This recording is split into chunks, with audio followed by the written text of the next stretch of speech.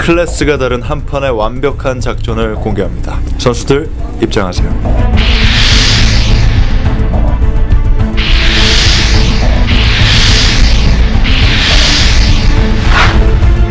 시나리오를 읽고 나서 감독님과 미팅을 하면서 영화를 어떤 느낌으로 찍을 거다 설명을 듣고 확신을 가지게 됐고 눈빛이 참 좋네.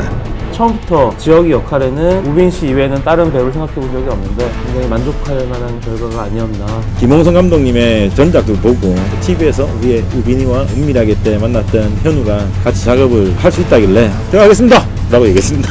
고창석 선배님 같은 경우에는 현장에서 너무나 분위기를 좋게 만들어 주셔서 감사한 부분이 많고요. 이번 역할을 통해서 여러분들에게 안 보여드렸던 다른 매력들을 많이 보여드릴 수 있을 것 같아서 굉장히 기대가 컸던 작품이고 카메라가 탁 꺼지면 너무나 애기인데 카메라 앞에서만큼은 또 거친 상남자의 모습을 보여주더라고요. 젊은 배우들이 에너지틱하게 자기들만의 영역을 구축하는 것 같아서 조금 더 젊고 활기찬 영화이지 않을까 생각이 듭니다.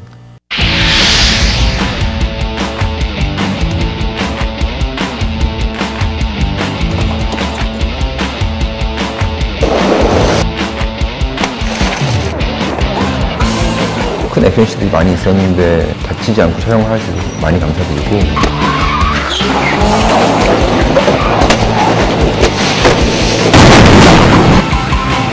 밤은 해역도 굉장히 많고 뭐 24시간 촬영도 굉장히 많아서 지금 한 번도 힘들어하거나 예색하지 않고 열심히 하고. 무술 감독님과 또 무술팀 형들이 많이 도와주셔서 큰 어려움은 없었고요. 감독님의 어떤 열정적인 모습들 그런 거를 보면서 확신을 갖게 됐고 집요한 감독, 집요한 감독이 결국은 좋은 작품을 만들어내는 것 같아요. 한 컷도 그냥 지나가는 건 없었는데요. 현장에서 가장 열성적이신 분이셨죠. 기존의 K-POP 무비의 형식을 가지고 있긴 하지만 거기에 강한 내러티브 좀 더 스피디한 전개 캐릭터들의 차별화 이런 걸 가지고 차별점을 두려고 노력했습니다